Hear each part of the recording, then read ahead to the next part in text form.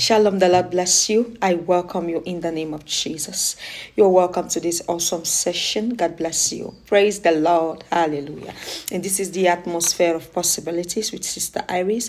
Thank you so much for joining this amazing family. God bless you. If you're new, I welcome you in the name of Jesus. If you're old, thank you for always coming back. God bless you. Praise the Lord. Hallelujah. This is about your child. This is about your child. Please do not take this lightly. I want you to take it very serious. If you have a child, you have children, pray for them, okay? Make sure you pray for them.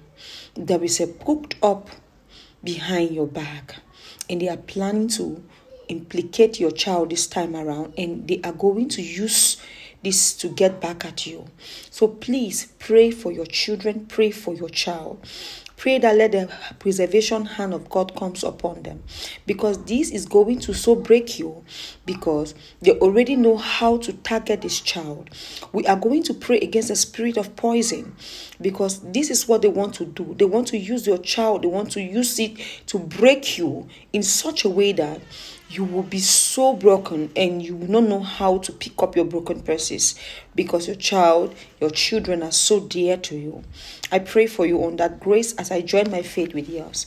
Anyone planning every spirit of negativity against your child, against your children, it backfire in the name of Jesus. May God preserve them at home, at school, they are preserved. Whatever thing they eat is purified in the mighty name of Jesus.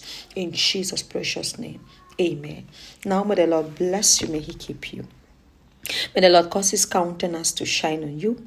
May the Lord be gracious to you, and may the Lord give you peace.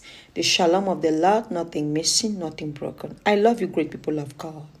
And I will see you in our next session. Please do not forget to like, subscribe, turn on your notification bell for new upload. God bless you.